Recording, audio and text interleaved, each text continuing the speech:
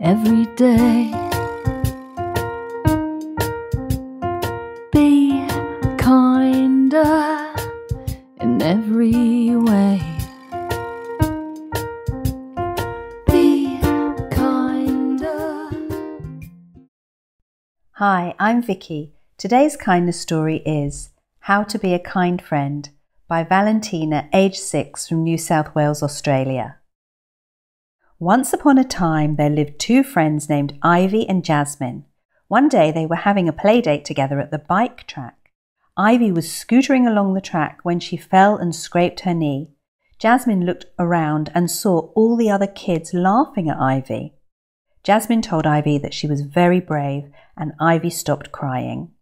Jasmine helped Ivy up and went and got her an ice pack and a band aid for her knee. Jasmine then asked Ivy if they could carry on scootering together. They even got an ice cream on the way home. What a lovely story. What a lovely story. Jasmine was so kind to go and help Ivy when she fell off her scooter. Even though the other children were laughing at Ivy, Jasmine stood up for her, which was very kind and very brave.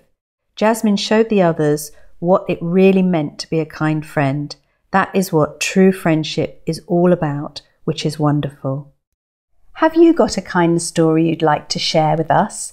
If so, send your drawings and story to flyhighbilly.org. See you next time.